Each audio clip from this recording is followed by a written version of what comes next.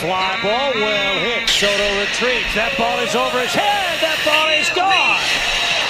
Duvall. Fly ball, well hit center. Robles going back to the track, to the wall, and it's gone.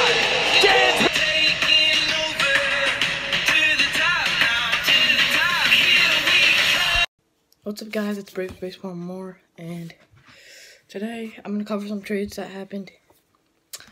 Uh, Nationals trade Josh Bell, and Padres trade getting Blake Snell. Huge trade for the Padres. But first, let's cover the Nationals trade. Smaller trade, still a big deal, but the Nationals are coming off that World Series win and having a rough 2020 losing players, don't know what's gonna happen, come out and get Josh Bell. They had zero first base options. And they fix it up with Josh Bell. Big bat.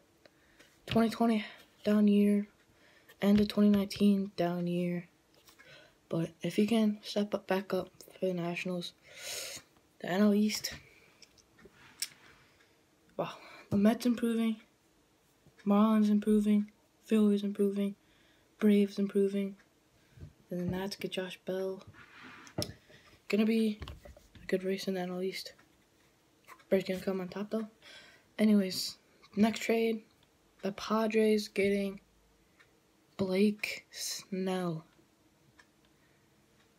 Wow. They did give up decent prospects.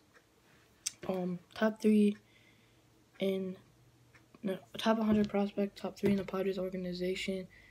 Um, give that prospect. Then they give another top 100 and top seven in their organization. So the Rays are getting stuff back. They're known for like giving away studs, giving away stars, and then getting just like building back up. Um, but the Padres, Blake Snell they have in their rotation as their top three Snell, Lamet, Paddock. Then Clevinger's to be back next year, 2022. But then they also got Zach Davies, who pitched really well. That rotation.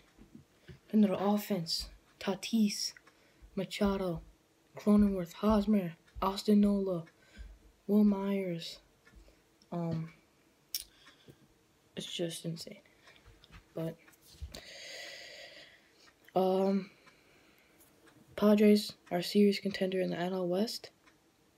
Dodgers, watch out. Um amazing team in San Diego. But those are the trades that I wanted to cover. Um Padres stepping up. Gonna be a World Series runner again, like last year. Dodgers Padres to be a good race. Can't wait for 2021. NL East to be a good race. Nationals showing they're not done. Um, but Bears day. And that's it for the video, guys. See ya. Go Braves.